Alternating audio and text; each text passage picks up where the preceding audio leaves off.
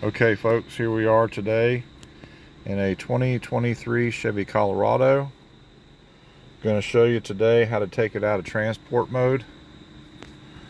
So the first thing you do is you come over here to the middle, right where the gear shift is, there's a button for your hazards. Turn your hazards on, right?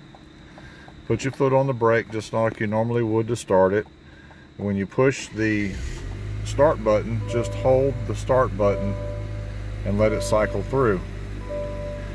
And each message will come up. It takes just a, you know, 30 seconds or so. There it is, transport mode off. Okay, that's all there is to it. And that's how you turn off the transport mode in a 2023 Chevy Colorado.